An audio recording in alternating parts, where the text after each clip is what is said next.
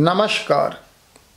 प्रिय साथियों, मेरा नाम है गंगाराम और आप देख रहे हैं ज्योतिष और समाधान हमारे यूट्यूब चैनल में आपका हार्दिक स्वागत है।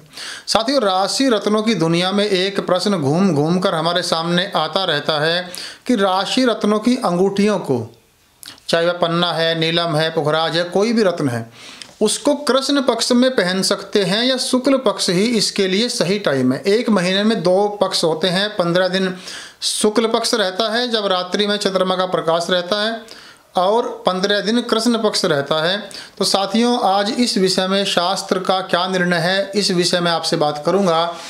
और भी राशि रत्नों के विषय में कुछ इंटरेस्टिंग बातें आपको बताऊँगा। लेकिन इससे पहले मैं बात को आगे बढ़ाऊं, मैं आपको बता दूँ, यदि आप ज्योतिष के द्वारा अपनी समस्त प्रकार की समस्याओं का समाधान चाहते हैं, या आप अच्छी श्रेणी के राशि रत्न खरीदना चाहते हैं तो आप हमसे संपर्क कर सकते हैं। मेरा फ़ोन नंबर, मेरा व्हाट्सअप नंबर आप स्क्रीन पर देख रहे हैं। तो चलिए साथियों, विषय में आगे बढ़ते हैं। एक बात मैं बहुत स्पष्ट कर देना चाहता हूँ। जिस ग्रह की अंगूठी है, उसी दिन पहनी जाती है। नीलम शनिवार को, पन्ना बुधवार को, मूँगा मंगलवार को। लेकिन कृष्ण पक्ष में अंधेर के दिनों में हम अंगूठी पहने या नहीं पहने, इसका उत्तर यह है। रत्न शास्त्र ज्योतिष शास्त्र कहता है कि राशि रत्नों की अंगूठियाँ धारण करने में शुक्ल पक्ष या कृष्ण पक्ष का विचार नहीं किया जाता। अर्थात महीने के महीने आप रत्न धारण कर सकते हैं बशर्ते।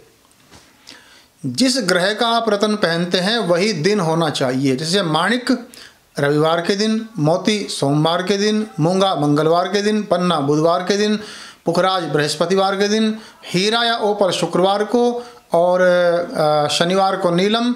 अब बचे गोमेद और लहसुनिया, ये शनिवार और बुधवार दोनों दिनों में पहने जाते हैं। साथियों, रत्न पहनते समय सूर्य उदय से लेकर के एक घंटे बाद तक का ही समय सर्वश्रेष्ठ माना गया है। क्योंकि उस दिन जो वार होता है, उसी वार की हो रहा होती है। जैसे, आज रविवार है और हमको माणिक्य पहनना है। तो सूर्य उदय से लेकर एक घंटे बाद तक सूर्य की होरा रहेगी। दिन में सूर्य की होरा 24 घंटे में तीन बार आती है। तो जो रत्न आप पहनो, उस ग्रह की होरा का होना आवश्यक है। सर्वे दोषा विनश्यंती लग्न शुद्धि यदा भवेत।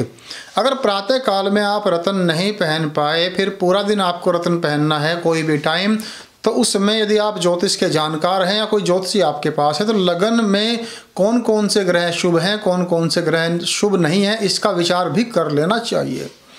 सेकंड बात यह है साथियों की पूरे विधि विधान से रत्न पहनना चाहिए, और जिस ग्रह का आप रत्न पहनो, उस ग्रह का अगर आप कम से कम 1100 मंत्र भी जाप कर सके तो यह आपके लिए प्लस पॉइंट होगा। रतन पहनने के उपरांत आपको गरीब आदमियों को आवश्यकता जिनको है, उनको भोजन ज़रूर कराएँ, कुछ दान पुण्य अवश्य करें। ऐसा करने से आपका रत्न एक तरह से एक्टिव हो जाता है।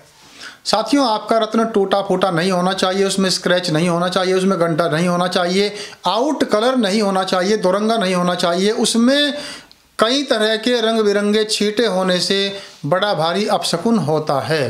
तो रत्न पहनते समय बहुत सारी सावधानियाँ रखने की आवश्यकता होती है। साथ ही साथ में जिस रत्न के साथ जो मेटल शास्त्र ने विधान किया है, उसी मेटल में उस रत्न की अंगूठी बनी होगी, तभी आपको लाभ करेगा। जैसे माणिक पहन सकते हैं आप तांबे में, मोती चांदी में, मूँगा तांबे में और सोने में पन्ना धातु और चांदी और सोने में, पुखराज सोना अष्ट धातु में और आपका ओपल या हीरा चांदी में पहनना चाहिए।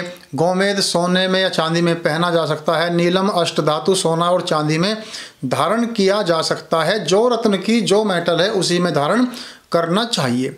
मैं कामना करता हूँ, आज की जानकारी आपको अच्छी लगी होगी। वीडियो को लाइक करें, शेयर करें और चैनल को करें। सब्सक्राइब, मिलते रहेंगे। ऐसी ही शानदार जानकारी